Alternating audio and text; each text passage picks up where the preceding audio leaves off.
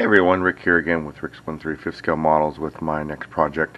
What I'll be doing here is taking this Hobby Boss Leopard 2A6 that I built a while back and adding some NATO style camouflage netting. I'll be using the cheesecloth and then gluing that on the sides and then from there taking small dots of the stained paper and gluing them on the cheesecloth throughout it to create the effects of that standard NATO netting. Um, you can buy it. There's different ways you can acquire it. Um, this is a lot more affordable. A lot more tedious, but at the same time you can get a very personal result and uh, it looks real sharp once it's finished. Um, I will be kind of stumbling around though because I decided to hurt my finger so that I'll uh, put this out of action, but I'll still be able to get the project done. So anyway, let's get started and uh, show you how I go about it. Okay, so beginning the project, you're going to need a couple things. Um, what I did is I've got a piece of cheesecloth here and I have it down to a single sheet. I painted it olive drab um, on both sides so that it looks nice. Um, I tried to create an even coat, but not too even because you want it to have a little bit of a tattered, worn look. Um, what I'm going to be doing is taking it and cutting pieces out and laying it out on the vehicle. Now, the Hobby Boss Leopard kit, it's an okay kit, but there are some things on it that aren't so hot. So what's nice about doing this is I'll be able to cover up a lot of those things. Um, some of the things that I don't like about the kit would be the, uh, for lack of a better word, the non-skid plating they put up here. It's way too thick. Obviously, this is you know, an inch or two thick when it should be, you know, two or three millimeters at the most. Um, so I'll be able to cover all that up. And then also, when you're putting it on, you have to look at, well, how do they attach it? You just can't drape it all over the place um, because they want the smoke grenades to be exposed freely. Um, so they sometimes will put them around them, but they uh, still will function properly. Um, so looking for points that they would tie it to and uh, have it hanging. Uh, normally you'll see these in the fronts covered up pretty good um, over the top of the uh, lower hulls. Uh, got a lot of covering and then sometimes they'll hang down the front. Also one of the things you'll notoriously see is either it's hanging or it's a uh, rolled up roll right in front here and that's covers up down here so that the vehicle when it's being looked at straight on you're not seeing the uh, silhouette of the tracks and underneath the vehicle to make it obviously look like a tank. The whole goal being to detract uh, from the obvious big machinery to look more natural and not be able to easily be picked up by somebody's eye. Um, so the first part of this process will be uh, taking the cheesecloth and uh, figuring out what part you're going to start. I'm going to start on the turret um, and what I'm looking at is having a uh, it draped down to where it's tied up in this area, kind of draping down through here, uh, covering up, like I said, this area, not covering up the uh, loader's periscope, um, and then also kind of covering these a little bit because they're way too large uh, for realisticness. And then um, coming in such a way to where they're not obscuring some of the sighting mechanisms. So I'm just going to kind of lay it out, figure out kind of how I want it, and then I'm going to cut it to fit. Um, the other thing about this process is you, know, you can mul make multiple layers uh, to make it work out really nice.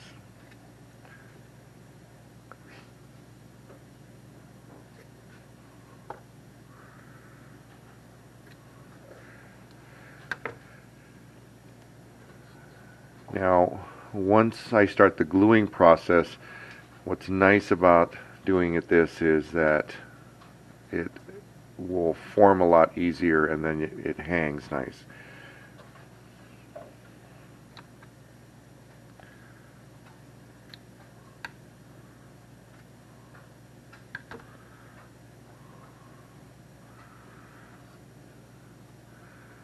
Now, if you look at a lot of real pictures of these vehicles, uh, this product usually looks fairly tattered up.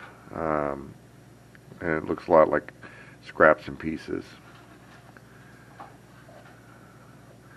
So that's kind of what I'm looking at.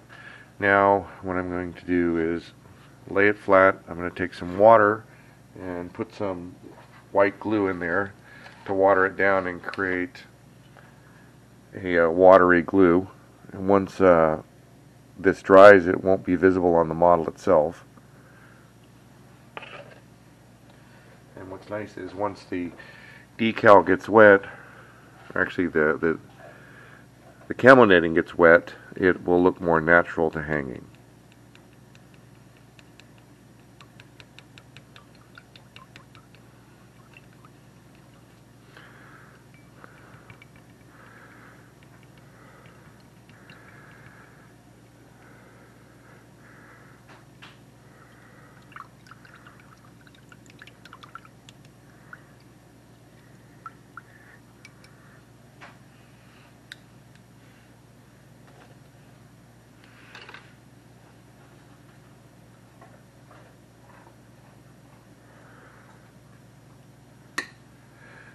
Okay, so just take a uh, wide bristle paintbrush, kind of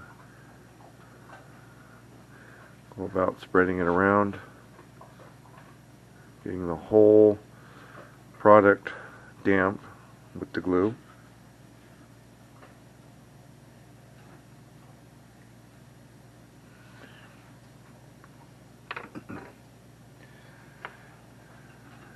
And uh, pick it up on both ends.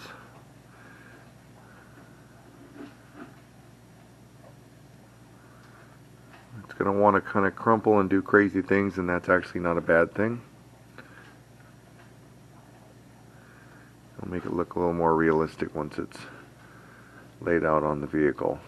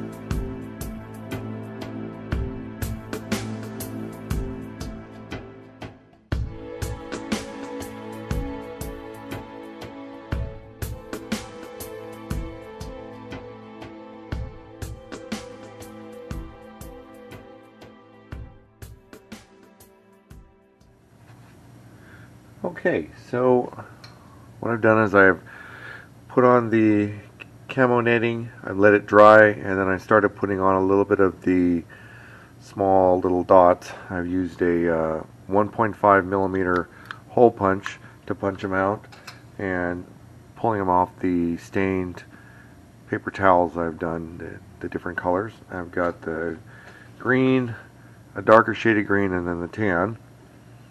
And that will be these little pieces down here. So the next part of the process is you take your water white glue mix and you make it more than uh, about 50-50, more about like 75% glue, 25% water. And then take an area you're going to go about and then lightly paint on a little bit of the uh, glue to make it damp. And then you're going to start a process of taking your little dots and getting a little bit of glue on them and then just tacking them down.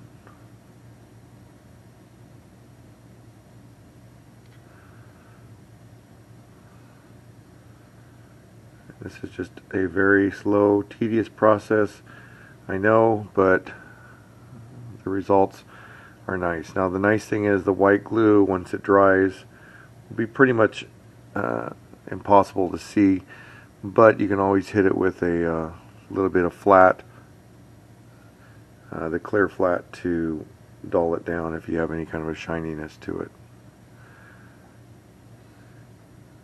And it's just a meticulous process of putting your dots on. The thicker, the more uh, potentially realistic it may look, but at the same time, a lot of these camo nettings are pretty tore up, so it doesn't have to be 100% perfect.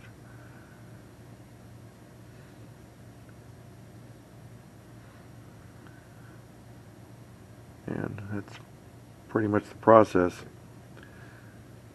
So I'm going to jump ahead here, do a bunch, and then show you the final results. This will probably take a good two or three hours for this because uh, there's a lot of material and I'm looking for a kind of a heavier look but uh, once you see it you'll understand. So see you in a couple hours. Okay, so we've completed the model and uh, added all the camouflage netting on. You can see how all the little pieces of paper here are glued on to look like the pattern that the netting has on it and it's semi tattered up. It's not like a brand new pristine piece it's been used and taken off and used again. A meticulous process of gluing it all on. Uh, this is kind of I would call like a medium level. You can do it a lot thicker if you want. Um, I was real happy with this. Kind of see how the barrel's all covered up different spots. You've got your lighter parts and darker kind of a mix. The biggest thing here to remember is is it should not look pristine and perfect. It, the goal is to make it look like a camouflage nature natural thing. And uh, a lot of times they'll have it covered up. You'll see these fenders exposed because they don't want the netting going into the track and getting ripped off. So a lot of times it's up and over like this. Um, sometimes they'll tape over this. Sometimes they'll have it lightly covered. Um, everything I've seen generally it's looks similar to this. Um, it's definitely a nice way to take a model and upgrade it. Uh, like I said before, it's very affordable. I mean, I spent just a couple of dollars here at the most. Um, and I've got a lot of material left where I could do four or five more models for, you know, maybe two more dollars. So, you know, financially, it's a very affordable way to make a model nice. Um, it, it, takes a lot of time, but that's kind of the fun of it is, is personalizing it. Uh, you know, the whole idea is to have something unique and different. Um, from here, you know, I've got a little bit more work to do on this model to uh, dress it up more, uh, finishing up the periscopes, um, maybe putting some equipment on it, different things like that, uh, covering up all these things. But the, the, whole point of this video was the uh, netting, and as you can see, it's done. Um, any questions or comments, please reach out to me and I will uh, answer them as soon as I can. You can also find me now on Facebook. Just look up for Rick's 135th scale models. Um, I'm going to start posting there daily progress, different uh, things I'm working on, and I have another avenue to reach out to people and continue networking all over the world. Um, at the end of this video, I'm going to have some close-up pictures of this. Uh, enjoy, and see you guys in the next video. Take care. Bye-bye.